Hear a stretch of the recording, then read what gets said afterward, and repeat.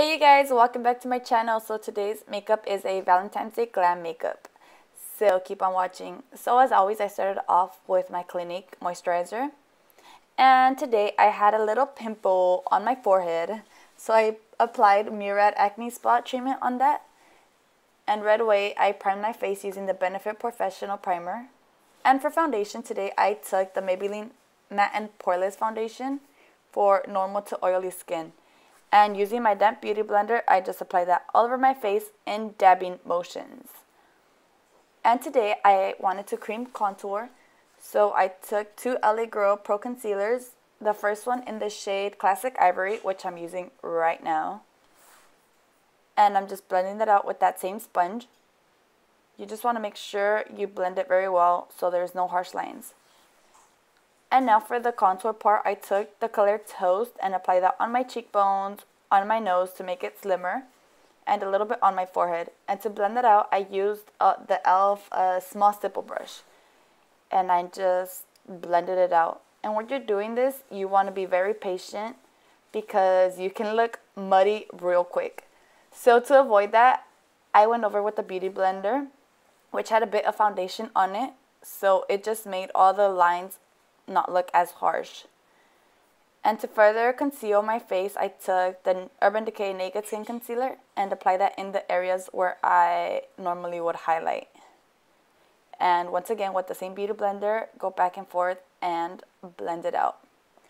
And I'm going to be baking my under eye, so I took the Airspun Loose uh, face powder and just apply that underneath my eyes to bake while I'm doing my eyes. And for today's eyeshadows, I took the Lorac Pro eyeshadows and I took the color white and applied that all over my lid. And for crease, I took the color Stable, Sable, not Stable, Sable. And to further define my crease, I took the color Espresso and just worked that in my lower crease. And back to the lid, I took that same white color I applied all over my eyelids and just applied that on my lids and I went back in with that same blending brush to make sure everything was very well blended. And here I'm showing you guys my City Color 15 piece brushes that came with the super cute case that I got in LA this weekend and I'm so excited about. So I'm using one of the City Color eyeliner brushes and I use the Wet n Wild little black dress gel eyeliner to map out where I want my eyeliner to be.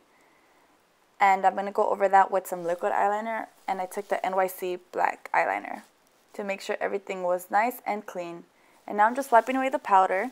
And for mascara, I took NYC Skyrise Mascara. And my brows, I just did them off camera. And moving back to the eyes, I took the color Sable and worked that in my lower lash line. And then I took a little bit of that espresso color as well to intensify the eye makeup. And these eyelashes, I got them in LA as well. They're like this Chinese brand, but I really liked the way they looked. So as always, I like to place them in the center and use my tweezers to tuck in the inner and the outer corners. So I went back in with my liquid eyeliner to cover the lash band so you don't see the glue.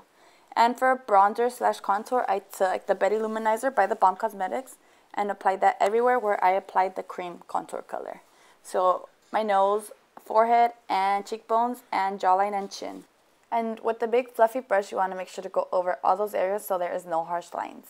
And for blush, I took Wet n Wild Mellow Wine blush, which is a matte blush.